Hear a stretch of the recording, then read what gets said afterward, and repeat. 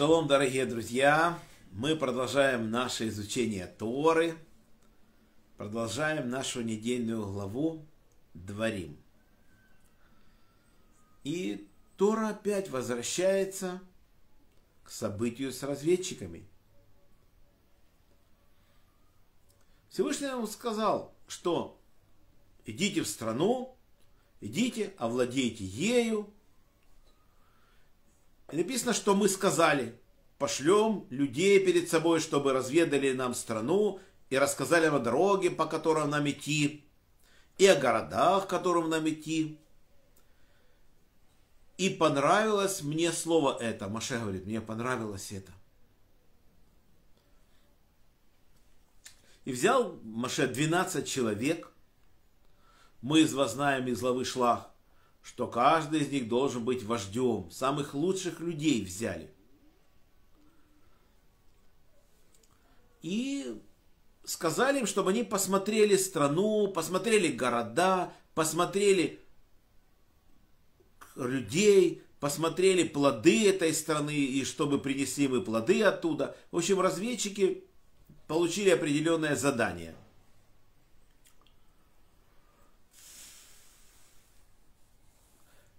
Для того, чтобы нам было легче завоевать эту страну. Вот такая разведка. Пошли эти люди и были 40 дней в разведке. За эти 40 дней они видели все. Мы знаем, что когда пришли разведчики, они описали страну, что она хороша, что она прекрасна. И, но написали, что силен народ, который в ней – и напугали нас. Написано, что люди поверили им. Увидели плоды, которые принесли разведчики. Мы читаем в главе Шлах, что взяли гроздь винограда и понесли ее на шесте вдвоем. Что это за гроздь винограда такая, что понесли на шесте вдвоем? И наши мудрецы говорят, что это она весила 960 сеа. Это около тонны как можно ее на шесте понести вдвоем. И пишется, Мидраш пишет, что их было 8 разведчиков, взяли эти, э, эти плоды, там, в общем, в розе винограда взяли 8. А двое взяли инжир, один взял инжир, другой взял гранат, которые были тоже по 50 килограмм по одному таланту, вот весом были. Как, ты, как ее принеси, мы не знаем. Даже есть мидраж, который пишет, что у каждого был свой оруженосец и несли в гроздь 16 человек. Конечно, когда мы увидели такие плоды невероятных размеров, и они говорят, что силен народ, и люди, которых видят, это люди великаны. И это действительно была правда.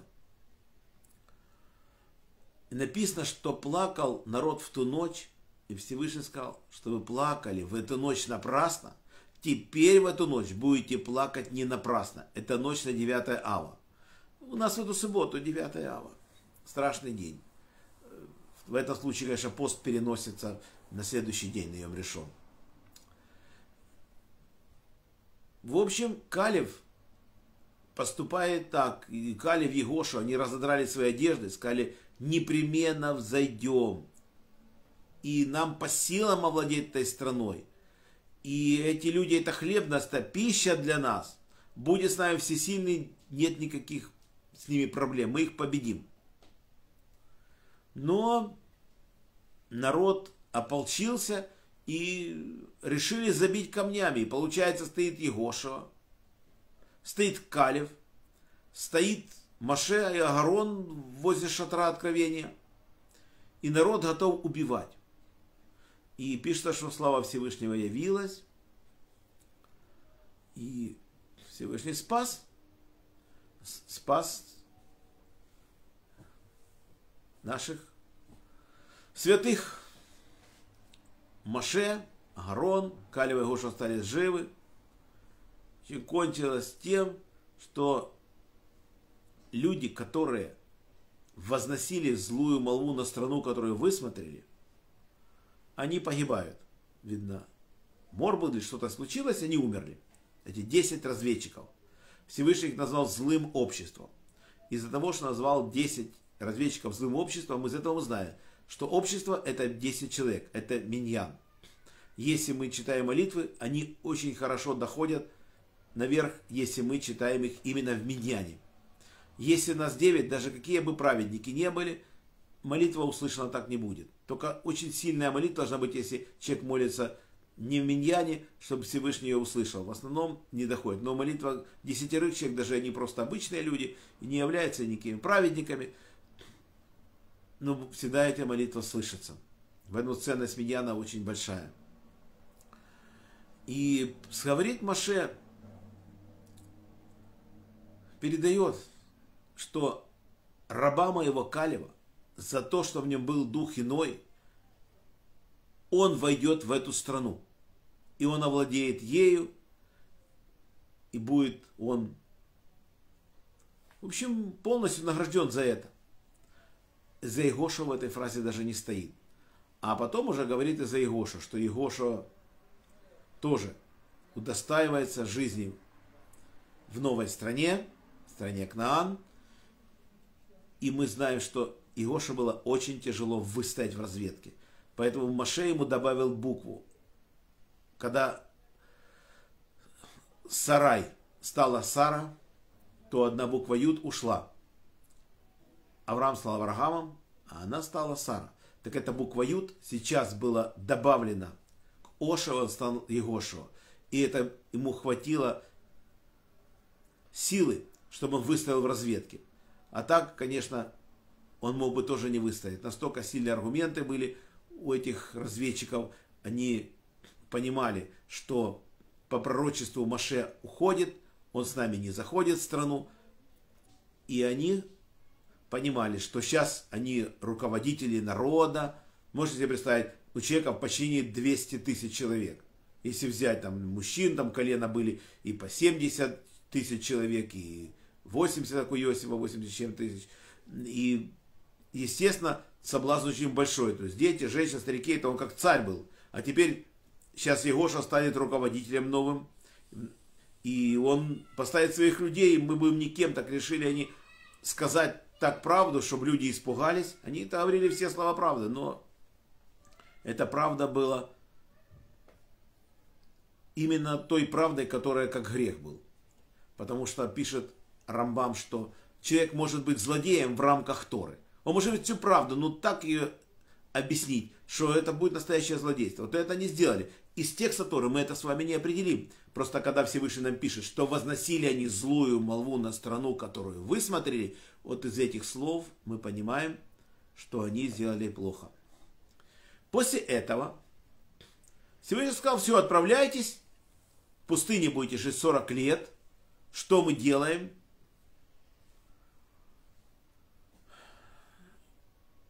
Мы говорим, нет, Всевышний нам говорил, идите в страну, овладевайте, мы теперь поняли, мы пойдем.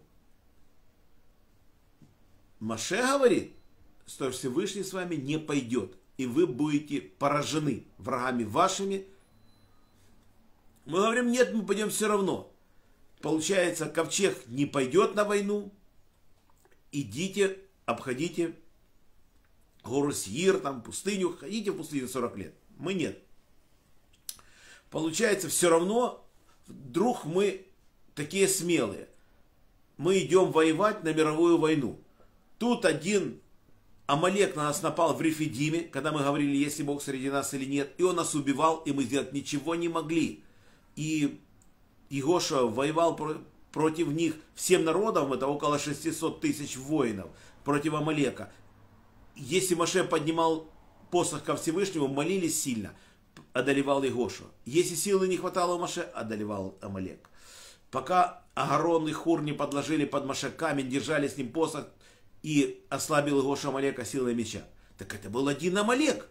А теперь что надо делать? Надо идти на войну. Против кого? Против того же Амалека. Он первый из народов. После них идет цари Эморейские Ог и Сихон тут же рядом. Великаны. И еще надо напасть на 31 кнанейского царя. Мало того, что ты нападаешь фактически и на Лота, на его потом на Маав, который давно уже захватил царь Морейских Сихон, и он его в подчинении до потока Арнон, это вся страна Маав досталась Сихону. Получается, мы воюем и с Исавом, и с Маавом, и с эморейскими великанами, мы воюем и с кнанейскими царями. Мировая война, и мы говорим, мы такие смелые, мы пойдем. А Всевышний говорит, нет, вы потерпите поражение. И точно мы пошли на войну и выступили эмореи, жившие в тех горах, против вас и преследовали вас, как делают пчелы, и поразили вас у Сира до Хармы. Говорю, что такое? Что это написано эмореи? Мы же читаем в главе Шлах, вышли к ней и амаликитяне, и преследовали вас и громили до Хармы. Как же так? Что причем здесь там одни, здесь другие. Получается, надо все сложить. И те, и те, и те, и те. По-другому никак. И преследуют, как делают пчелы. А чего не шершни? Всевышний же нам пишет в главе Мишпатим и в главе Экем, что шершни есть, которые будут убивать врагов ваших. Я пошлю они в расселенные скалы, если враги наши спрячутся, все равно поубивай их. Эти шершни, да, мы знаем, что это за страшная оса. Э, она бьет, как раскаленный гвоздь у нее сжала и кусает нам многократно, сколько хочет, но за минуту 40 пчел убивает. Несколько таких укусов, и человек просто будет поражен. Нет, пишет пчелы. И Бедраш пишет. Брешит раба пишет. Пишет, что пчела кусает и сама погибает от одного прикосновения. А человек остается живой.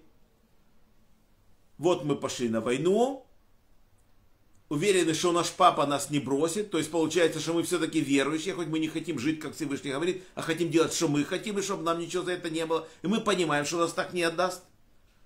Нас они кусали, а сами погибали. То есть, если нас 600 тысяч вышло на войну, если нас по одной пчеле укусило, 600 тысяч врагов легло. А если пчела же не кусает, как шершень, а если по 10 мы тоже укуса выдержим, то мог Всевышний там миллионами их положил. И, но мы все равно и вернулись, пишется вы, и плакали. С войны-то мы вернулись целые, и плакали. А Всевышний сказал, все равно, хоть вы хотели за меня воевать, но вы будете жить в пустыне. Как я сказал, будете 40 лет жить в пустыне. Вот так вот. И вернулись вы и плакали, и написано, что и оставались в Кадеше многие дни, столько же дней, сколько провели раньше. А сколько мы провели раньше? То есть, если Кадеше мы жили до того, как умерла Мирьям, а она умирает в первом месяце уже последнего года в пустыне, сорокового. Так э, получается, нам известно, что первый год мы прошли 14 стоянок, после смерти Агарона мы прошли 8 стоянок, 22, а всего было 42. Вот 20 стоянок. На одной стоянке мы жили, вот получается 19 лет, как Раши пишет в благословенной памяти. И на остальных 19 стоянок по году мы жили. Так он пишет. Вот так вот. Вот так. Поэтому, как бы нас сильно не любил, предел всему есть. Он нас всегда жалеет, и не отдал нас и в этом случае, но вести себя надо достойно. Вот так вот. Потому что мы показали, что хотим жить, как мы хотим. Но нет, теперь поучитесь 40 лет в пустыне, после этого мы придем в страну к нам. И на этом наш сегодняшний урок заканчивается. Урок был дан за поднятие души моего папы Якова Бенаху, моего дяди Владимира Бен Григорий, мой брат Павел бен Ефим, Хая Малка бат Йосиф, Мира бат Авраам, Роза бат Михаэль, Самуил бен Герш, памяти Ури бен Харитон, Мендель бен Мендель, Надежда бат Йосиф, за здоровье Светлана бат Клара, Шимон бен Исхак, Борис бен Мария, Анна бат Ривка, Полина Пер бат Соня Сура, Лена бат Клара, Женя бат Ида, Анна бат Елена, Евгений бен Софья, Двойра бат Мириам, Моисей бен Ева, Ирина бат Двойра, Йосиф бен Раиса, Инесса бат Маэль, Евгений бен Берта, Евгений бат Ита, Фира бат Анна, Геннадий бен Елена, Леор бен Клара, Вадим бен Татьяна, Юлия бат Белла. Мазал Параса Гула, Ирина Батури, Арона Ребенури. За хороший дух Арона Ребен Двойра, Гиз бен Нахум, Авигаль Бацара. Парнаса и Бриют, Владимир бен Рая, Марина Батрая, Борис бен Марина. Всего хорошего Олегу Марченко. Делитесь этим видео с друзьями. Всем браха Парнаса Кавана. Мазал то, что мы это время не грешили, изучали Тору. До следующих встреч. Надеюсь, нас встретится завтра 15.30 Блинедер.